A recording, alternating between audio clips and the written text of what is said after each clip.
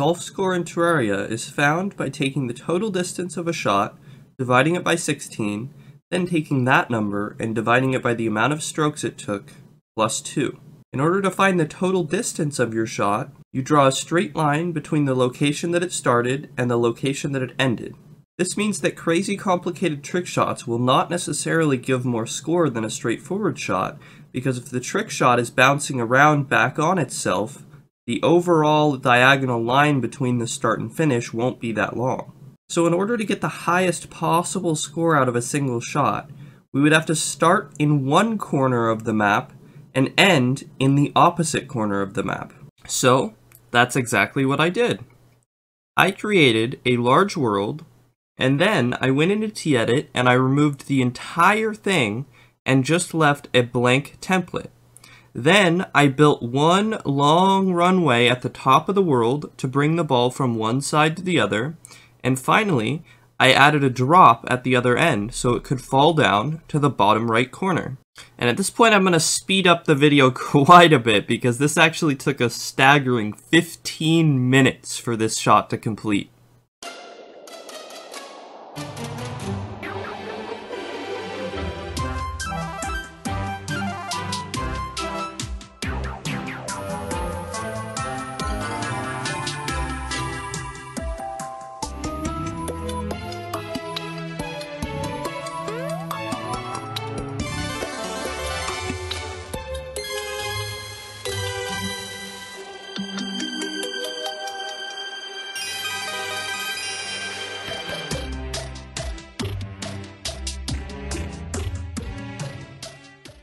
Ta-da! The longest possible golf shot. Now, at this point, I wanted to go and use that formula on the wiki to calculate exactly how much score this would be worth.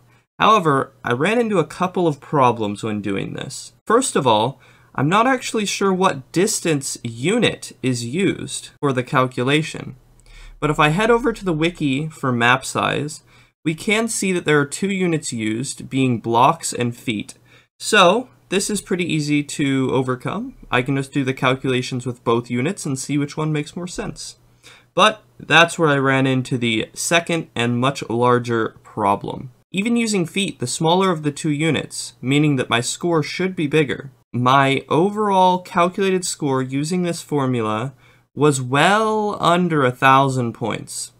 Now this doesn't make any sense because some of the items that I unlocked require you to have at least 2,000 points in the world, and this was the very first shot I had ever taken on this world, meaning that this shot was worth at least 2,000 points, but this calculation says otherwise. Now the thing that would make the most sense to me is that this calculation is using some unit of distance other than what I have been using.